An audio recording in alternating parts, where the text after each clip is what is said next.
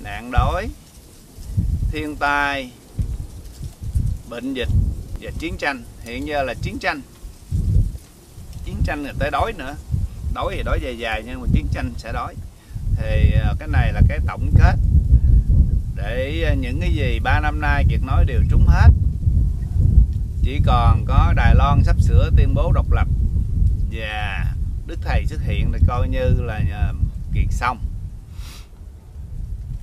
cái à, đoạn à, cái màn khúc cuối này của cái đường hầm thì coi như xong.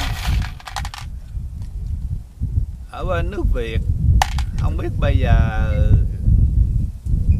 ở ngoài Bắc miền Trung miền Nam mấy à, dân của mình không biết đang làm gì có có cái, cái sự chuẩn bị gì không? Mà mấy clip vừa rồi Kiệt lên mấy hôm rồi ở trên núi quay thì Kiệt có thông báo đó thì hôm nay nên chuẩn bị những người làm công ty có liên hệ với Trung Quốc hay Đài Loan là cần phải chuẩn bị.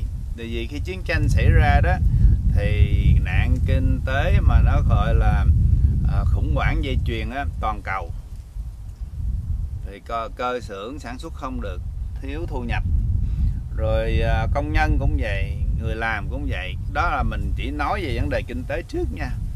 Ở Mỹ này thì cũng đang chuẩn bị một cái danh sách hơn phân nửa người nếu mà tại vì những cái món đồ mà nó đi lại, nó có liên quan đến những cái quốc gia mà đang chiến tranh á, thì mình sẽ thiếu mấy cái đó để mình gắn vô cái bộ phận mình, của cái máy của mình cần.